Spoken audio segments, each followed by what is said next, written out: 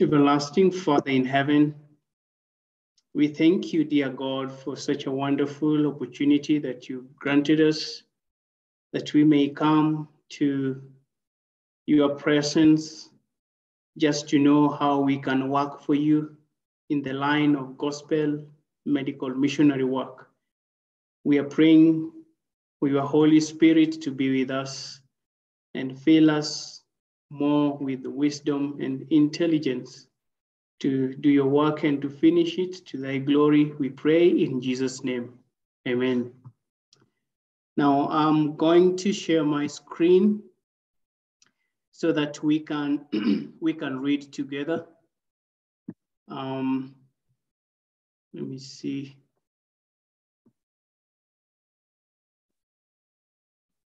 Yes, uh, I believe we can see it. Um, the topic of today, I'm going to handle some something small on carrying out the work, but still this is in the line of uh, gospel medical missionary work.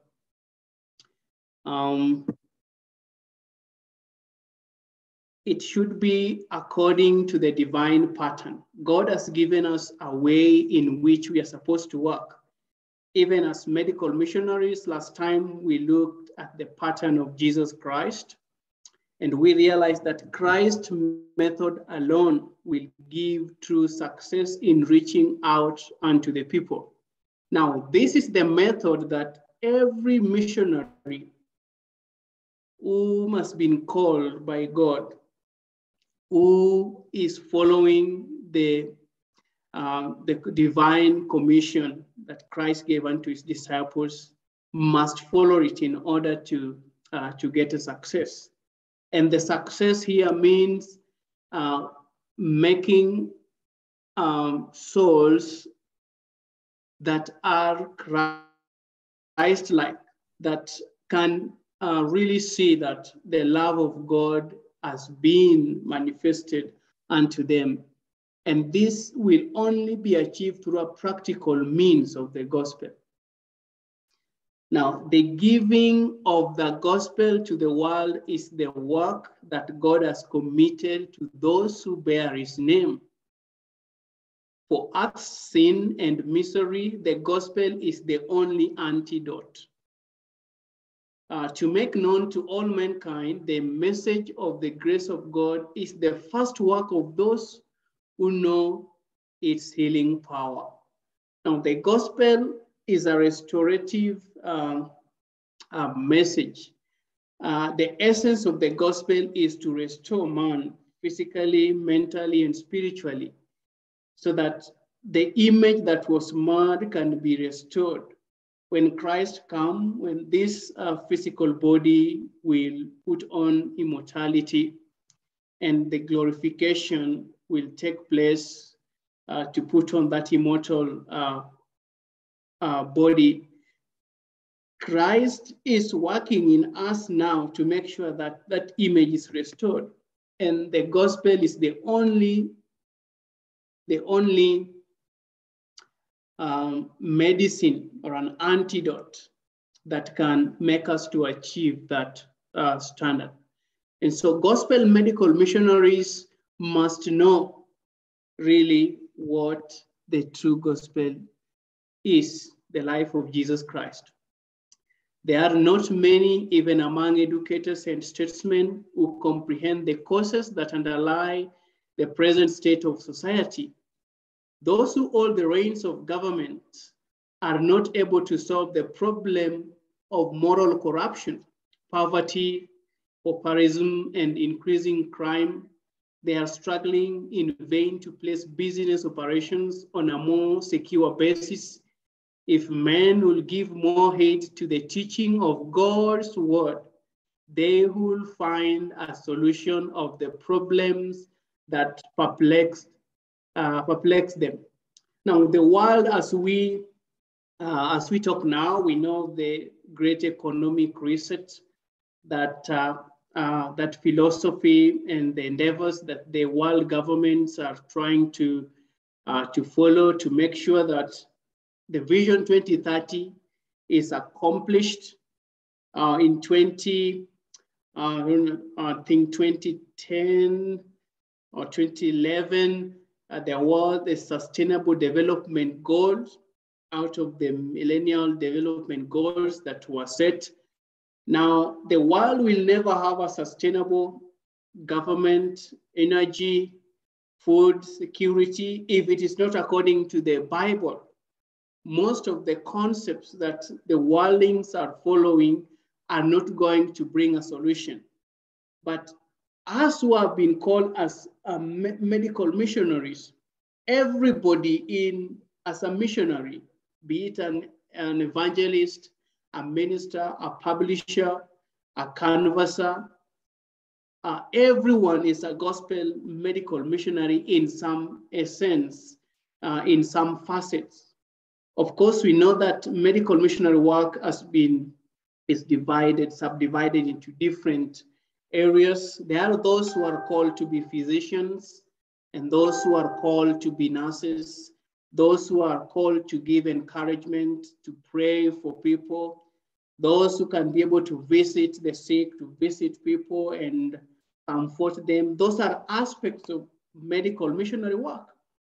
And so when we say that soon there will be no missionary work, but there will be no uh, any other work in the ministerial, in ministerial lines, save medical missionary work. Uh, it doesn't mean that only those who are healing, whom uh, we know as having knows, knowledge about herbs and other things, are the ones who are going to work. No, everybody who is following the third angel's message, the three angels' messages to the giving that message to the world are giving a healing message, everlasting gospel, a message of restoration. And so all of us fit in this uh, world uh, to make sure that we bring a solution. The world needs something better. And this is where we as medical missionary, gospel medical missionaries are called into to make sure that uh, the uh, the state of the society is settled uh, in a way that people can see the word of God ruling their life. The gospel is a wonderful simplifier of life's problems. Its instruction heeded will make plain many a perplexity and save us from many an error. It teaches us to estimate things at their true value and to give the most effort to the things of greatest worth, the things that will endure. That is so interesting that a wonderful simplifier of life's problems. People look at complicated policies, uh, but the gospel, which is simply the word of God, has everything. If men will live according to the word of God, healing will have been brought, uh, food security will have been brought, um, we will be uh, having very simple ways of treating people because people will be having faith in the word of God. So it is so much important because this is the only solution uh, that bring things that endure. Wealth will, uh, will not last. Uh, if it is shelter, the good houses that we have will not last, but the gospel will last because it brings everlasting righteousness. It brings us to a condition where we have the mind of God. And if we have the mind of God, um, we are like him and we are his children. And so we receive eternal life a gift that will last forever. That is what we are supposed to give to the world. Um, everywhere, their hearts crying out for something which they have not. They long for a power that will give them mastery over sin, a power that will deliver them from the bondage of evil, a power that will give health and life and peace. Many who once knew the power of God's word have dwelt where there is no recognition of God and they long for the divine presence.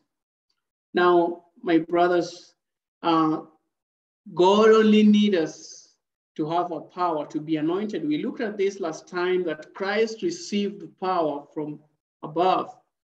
And so it, went on doing good. We have to receive that power so that we can go forth to bring relief to the world, uh, so that people may have a divine presence. There is um, nothing great than knowing that God is with you. And many people are hopeless because they, they are not sure that God is with them. And uh, the state of the world today show, uh, shows that the presence of God is being withdrawn gradually. In 9T, page, uh, page 11 says that the Spirit of God is being is gradually being removed. And we are seeing um, the perplexities that are taking place in the world. Gospel medical missionaries have been called to make, uh, to make the hearts of men to look above, because that is where the help come from. Not to look unto man, no. Not to look unto the governments, no. It is for us to point people to the heavenly sanctuary where they can see um, or they can experience Jesus Christ, who is our Savior. Um, the world needs today what it needed 1900 years ago. We looked at it last time, and, and this is a revelation of Jesus Christ.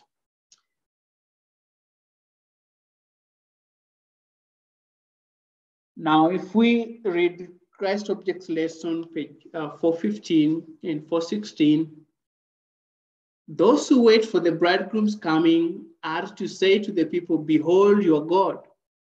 The last rays of merciful light, the last message of mercy to be given to the world is a revelation of his character, of love. The children of God are to manifest his glory in their own life and character. They are to reveal what the grace of God has done for them. Now, that is, let me pause there for a moment. That the children of God are to manifest his glory. When Moses asked for the glory of God, God showed him his character. So the children of God are to manifest the character of God in their own life. Now we know that in the great controversy, God is looking uh, for people who are going to vindicate his character. In PP 68, we are told that the plan of salvation was more than just the salvation of man, but it was to vindicate the character of God. God is trying to solve the sin problem in a way that is going to over people who are going to live a righteous life. A people are going to live by his word. And it's going to show that those who are saved are saved, and those who are lost are lost. And should Jesus Christ come again, they are lost forever because the virtue coming from the gospel has not been infused in their lives. And so, as gospel medical missionaries, God is calling us to, uh, to demonstrate this glory in our own life. That is so much important. Our lives speak more. We cannot be gospel medical missionaries by just um, theory. Our lives must show our lives must demonstrate. This, the light of the Sun of Righteousness is to shine forth in good works, in words of truth, and deeds of holiness. That is so much uh, huge for me uh, that it is supposed to shine forth in good works. The life of a Christian is shown in good works. That, that does not mean that we are saved by works. No, works are the fruits of the faith that we demonstrate. And uh, we are seeing in, in Kenya, we have many, many denominations, but still crime increases, still adultery and fornication increases. Uh, what is the problem? It is because the gospel or the truth has not been shown in deeds of holiness. Christ's life has not been shown to the world. What we need to understand best, what is it? We need to be enlightened in regard to the plan of salvation. There is not one in 100 who understands for himself the Bible truth on this subject that is so necessary to our present and eternal welfare. Now, this plan of salvation in its practical aspect, the, the, the, the, the devil has tried to obscure so that people cannot attest to the saving experience of the gospel. We come to the medical missionary work. The workers today have become more selfish. People have become more selfish. Um, and there need to be a cleansing in the medical missionary field. We need to operate like Jesus Christ operated. We need to be moved by compassion. In Matthew chapter 9, verses 35, Christ was moved with compassion. Are we moved with compassion when we see children who are naked? When we see people who have no home? When we see a people who have no food? What are we doing as medical missionaries?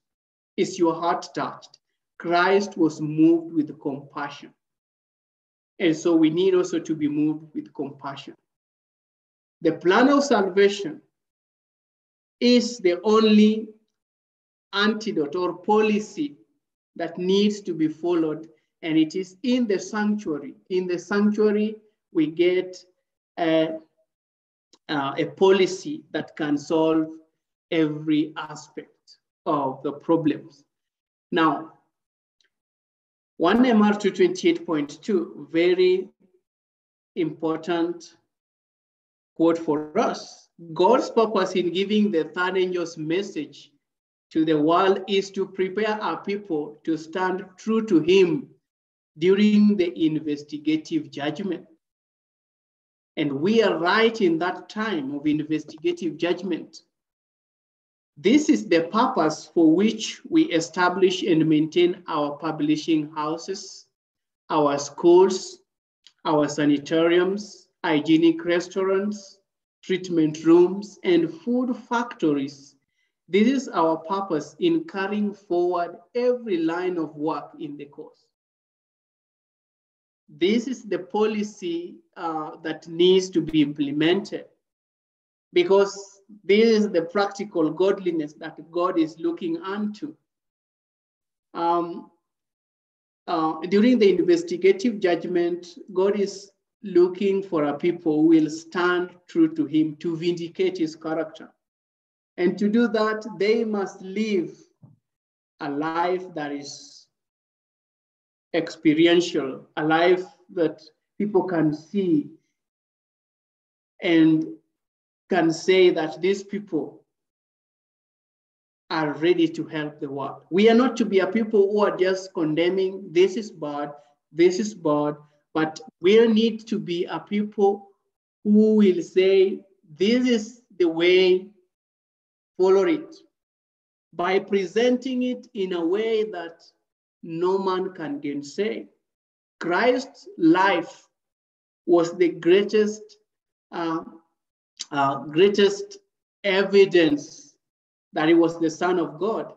And it silenced, his life silenced the Pharisees silenced the heathens because it was a living gospel or the living Bible in the midst of the people. Now, if we develop publishing houses where, where we, as uh, we, we, we have the present truth articles and books that people can read and know the truth for themselves, when we build schools, from cooking schools to tailoring schools, to carpentry schools, to masonry schools, all these are schools that can be developed in a simple way in our various houses. We don't need to be technical. We don't need to, to do a mega structure or building somewhere. We just need our homes to do this work. Hygienic restaurants. Nowadays, you can go to mega cities of Kenya, of the world, but it is rare to find hygienic restaurants where you can get vegetarian meals. Why? Because the people of God, the medical missionaries, have taken one line of the work. But God is calling us to have in every city, there should be a hygienic restaurant. There should be treatment rooms where the sick can be treated. Simple treatment rooms attached to our hygienic restaurants. We can do simple massages. We can do simple juices. We can do the counseling for the people. If we get complicated cases, we can send them in the uh, sanitariums in the countryside and where we have physicians who are highly educated. God is calling us to be above the world in terms of knowledge. God is calling our people, medical missionaries who are intelligent, pious, and studious, those who will study, receive revelation from God on in certain cases of illnesses. Those who have researched, it is not bad to research on the, the hidden doctors. We can pick that which is good and apply it according to the word of God so that we can find a solution to the world. If we give ourselves to all this, I believe that God can have a people upon the world who can baffle all the policies of this world. No one can gainsay. Um, we need to have food factories. The simplest food factory we should have is the farm, the gardens, in our homes, in our schools, in every institution, there should be a farm. And uh, last time I talked about or gospel medical missionaries who will help the unemployed. Um, we have a crisis of unemployment in the world today, but God system was a system that was going to absorb every student, every youth, because in every home, in every place, we shall be having uh, an institution that can absorb our church youths. Now, God is still waiting for us to do this. Whoever shall take up the mantle and develop these institutions, the practical gospel shall have been achieved um, in our lives. And the church will be so strong. The church will be so influential um, a medical missionary or a missionary in general should be someone who has something to do for a lifestyle, for a living, self-supporting missionary. That is someone who uh, who can stand uh, uh, as a um, who can influence many people in the communities where they are. We are living in communities or in the society where people do not have food. If we know how to develop simple food factories or garden, we know simple baking, simple preparations of food, God is able to bless all this that we may be able to, uh, to show Christ to the world. Now, it is to help us to stand true these institutions during the time of investigative judgment. And right now, the judgment is going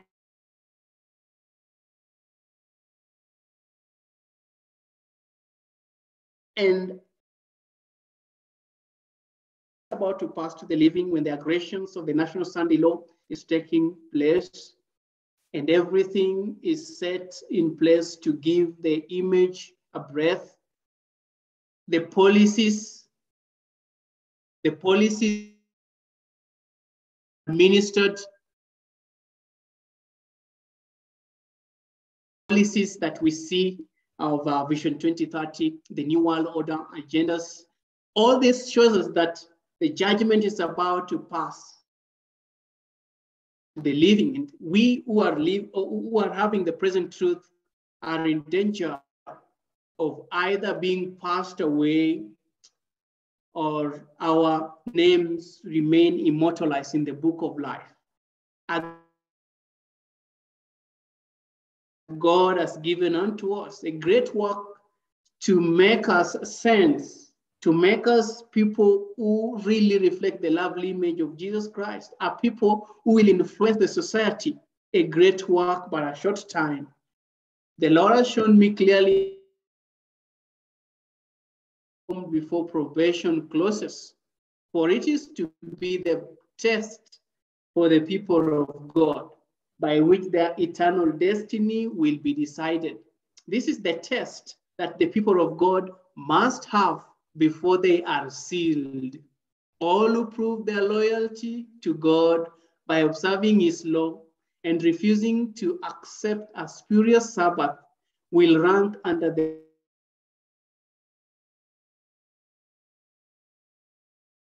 the banner of the Lord God Jehovah and the truth of heavenly origin and accept the Sunday Sabbath will receive the mark of the beast. Now, brothers and sisters, um,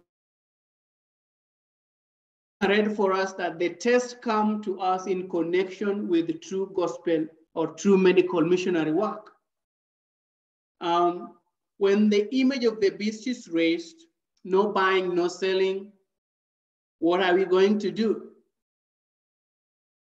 in PK 183 says that for want of food and clothing, the devil will have, uh, will have dominion over all the people in the world. When every earthly support shall be cut short, what are we going to do? Now, that is where gospel medical missionary work is needed. We understand that this time when now things are going to be very difficult, no buying, no selling. We shall be working as relief workers. Relief workers, working in homes, treating people, sharing with them the word of God. And if we shall have, if we had established the institutions like the food factories, we shall be giving food unto the people. At the same time, clothing to the people. We need institutions for, uh, for suing that, we, that can do that, even in the present moment. That is the practical gospel work that we need.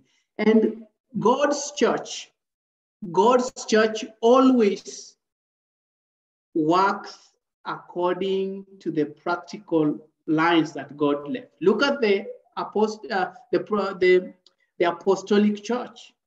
They had the Dorcas ministry.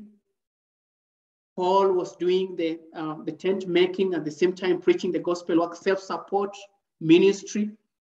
We are seeing um, the apostles doing the healing. We are seeing the, um, the deacons doing the distribution of, uh, of food and clothing and other things. We are seeing a church develop where we have the, the, the, the, the, the, the old women in the church counseling the young in the society or in the church. to restore their marriages, to make sure that their marriages are working well. Do we have such in the church today? And those fall in the category of medical missionary work. In the homes, we are told that uh, mothers and fathers are supposed to teach their children in a way that they can become home missionaries before uh, before going to the going outside to do foreign missionary work. So we have a very awesome ministry of gospel medical missionary work in our homes in the church to make us stand true to God during the time of investigative judgment. That is so interesting. Our sanitariums have been established for the purpose of preparing a people for the second coming of our Lord and Savior. Sanitariums are ways or means that God has set in place to make sure that our people are prepared. In the purpose of our sanitariums is to make sure that our people are prepared intellectually and spiritually by sharing with them the word of God, by sharing with them the health principles, by sharing with them uh, the principles of um, hygiene and sanitation. In our sanitariums, there's, they should be set for people, for people just to come, families to come to find a place where they can just read the word of God and hear uh, God speaking to them through nature, through good food. Oh, what a wonderful work that God has given unto us in these aspects of ministry. Now, the enemy of man and God is not willing that this truth should be clearly presented. And this is why we are having a lot of uh, disunity among God's people. We are not united in this work of true gospel medical missionary work, a living church working in the practical lines.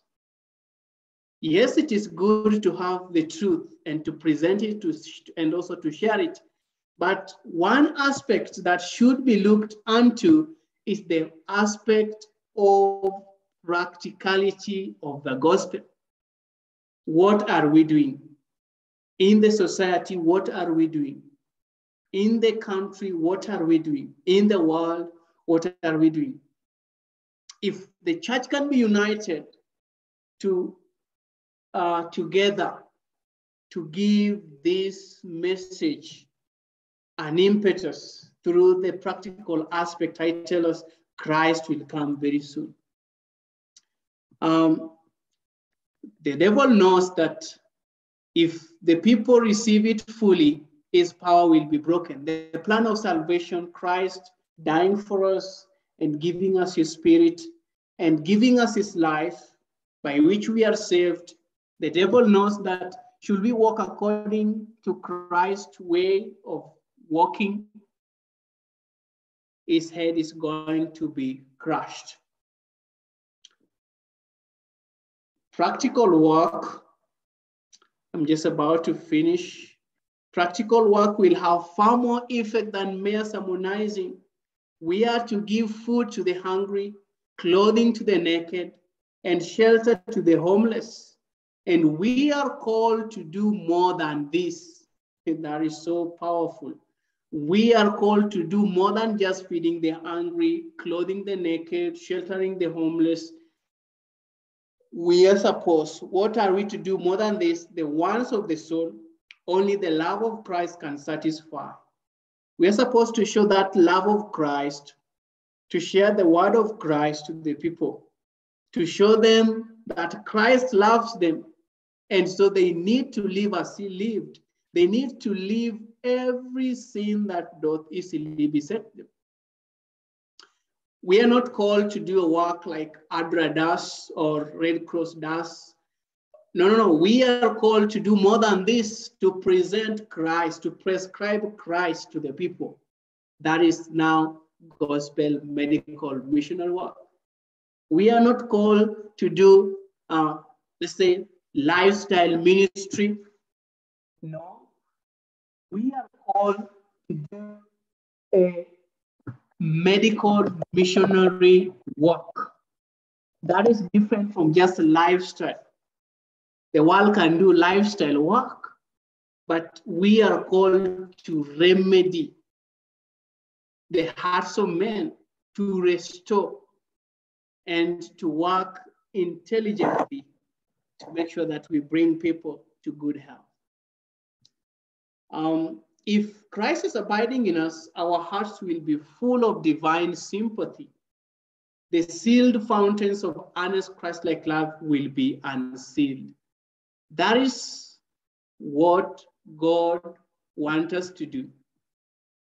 And I want to encourage us and to challenge us that this work that is laying um, uh, in, in waste, the bridge has not been mended back. In Isaiah chapter 58, a very huge work for us. And it is connected with the Sabbath message, gospel medical missionary work. The bridge is still there. But God wants us to fix this gulf by practicing the life of his son to the world. Are we ready for this? Are we ready to do a practical gospel work to the world? This is a challenge that we need to pray about. Everywhere you are, make sure that you are doing something. You are doing something that people can see that God is in you. If God is calling you just to pray for the sick, do it. If God is calling you to, to farm, to make sure that people can get food, do it. If you are gifted in healing or giving remedies and teaching people health principles, do it. If you are blessed with cooking or understanding the principles of good or the art of cookery, do it. If you can just be a good mother who can uh, mother her children well in the in the family and in the society, do it. If you are a father and God is calling you to show good fatherly principles to the society, do it we don't have time. And God is able to give us his spirit that he gave his son that can make us to do everything according to his glory. May God bless us. I want us to pray to finish up. Let us pray. Father in heaven, we thank you that you are calling us to an experience of your son, Jesus Christ to be true gospel medical missionaries. We have seen that this is the plan that you are looking for a people who shall do it. Oh, dear God in heaven, may you help us. May you give us means to do it. And that which we can do in a small way, that road that we have in our hands, just like Moses, may help us to divide the sea so that we can pass through and go to the Canaan land. Thank you for being with us. Forgive us where we have wronged you, where we have not done our responsibility as it should be, but still give us strength and wisdom to continue in hope. We thank you for hearing us. For this we pray, trusting, believing through the mighty name of your dear Son, Jesus Christ. Amen.